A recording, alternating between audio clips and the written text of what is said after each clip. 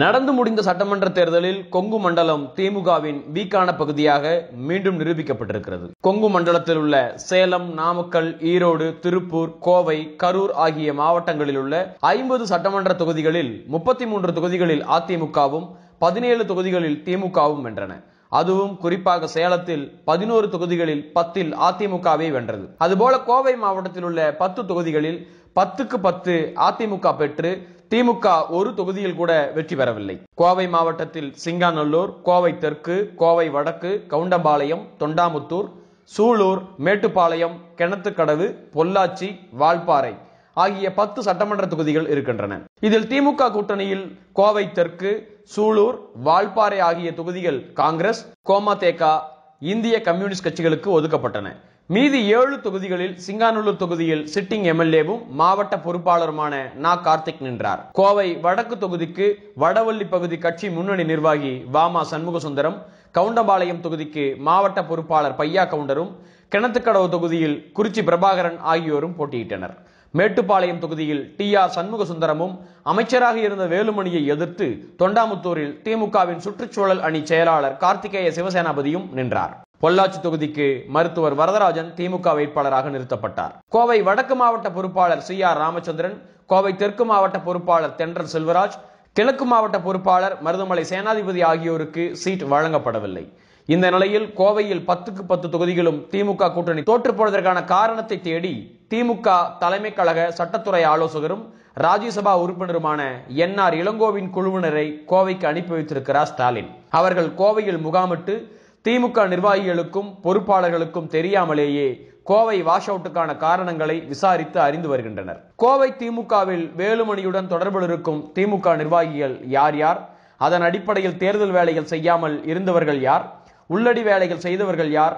தலைமை கொடுத்த நிதியை முழுமையாக கொண்டு சேர்க்காதவர்கள் யார் யார் என்பது குறித்த முழு விவரங்களையும் திரட்டியுள்ள அந்த குழுவினர் ஜூன் பத்தாம் தேதி வாக்கில் திமுக தலைவரிடம் தனது அறிக்கையை அளிப்பார்கள் என்று அறிவாலய வட்டாரத்தில் கூறுகிறார்கள். இதன் அடிப்படையில் கொங்கு மண்டலத்துக்கு குறிப்பாக கோவை மாவட்டத்துக்கு தலைமை கழகம் சார்பில் பொறுப்பாளர் நியமிக்கப்படும் வாய்ப்பும் இருப்பதாகவும் தகவல்கள் வருகின்றன. கோவை திமுக தொண்டர்கள் சிலர் நம்மிடம் இந்த தேர்தலில் திமுக கோவையில் தோற்றதற்கு காரணமே தொண்டர்களை மதிக்காத போக்குதான். குறிப்பாக மாவட்ட பொறுப்பாளர்களான சி. ஆர். ராமச்சந்திரன் சேனாதிபதி பையா கவுண்டர் ஆகியோர் மீதுதான் கடுமையான புகார்கள் தலைமைக்கு சென்றிருக்கின்றன.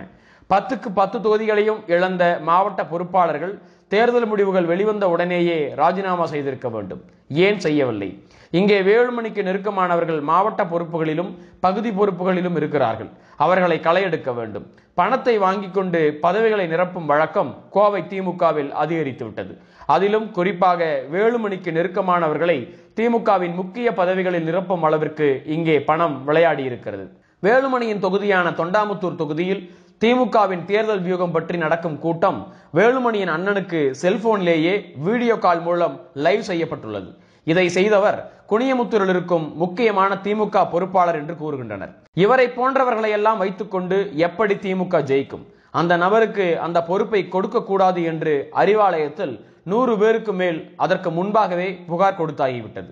ஆனால் அறிவாலயத்தில் இருக்கும் முக்கிய அலுவலக புள்ளி ஒருவரை தங்கள் பாக்கெட்டில் வைத்துக்கொண்டு பல மாவட்ட செயலாளர்கள் தாங்கள் பணம் வாங்கி கொண்டு செய்யும் நியமனங்களை தலைவர் ஒப்புதலோடு முரசொலியில் அறிவிப்பாக வெளிவரச் செய்வதில் ஜெயம் கண்டு விடுகிறார்கள்.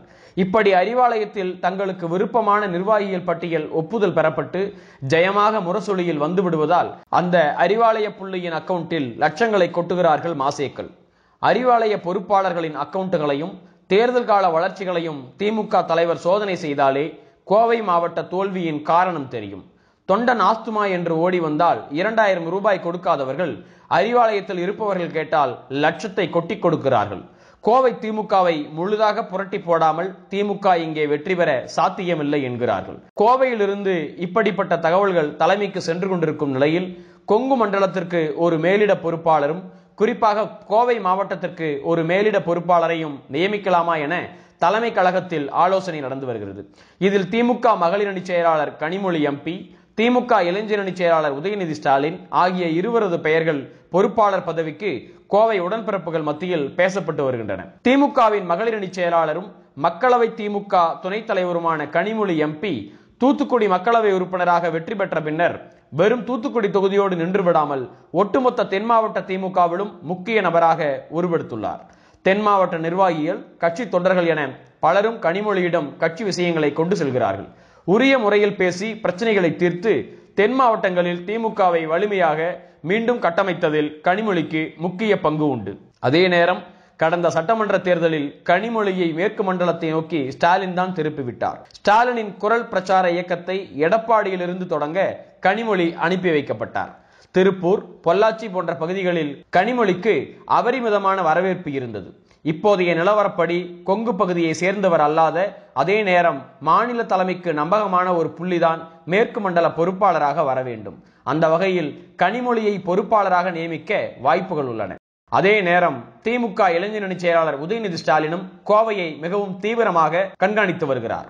அண்மையில் கோவை சென்ற உதயநிதி தனக்கு நெருக்கமானவர்களிடம் கோவையில் வேலுமணியை எதிர்த்து நானும் சவால் விட்டேன் தலைவரும் சவால் விட்டுட்டு போனாரு. ஆனா ஒரு தொகுதியையும் ஜெயிக்க முடியலன்னு ரொம்ப வருத்தத்திலையும் கோபத்திலையும் இருக்காரு. இங்க என்ன நடக்குது எனக்கு சொல்லுங்க என்று ஆர்வத்தோடு கோவையின் கிரவுண்ட் ரியாலிட்டியை கேட்டு சென்றிருக்கிறார்.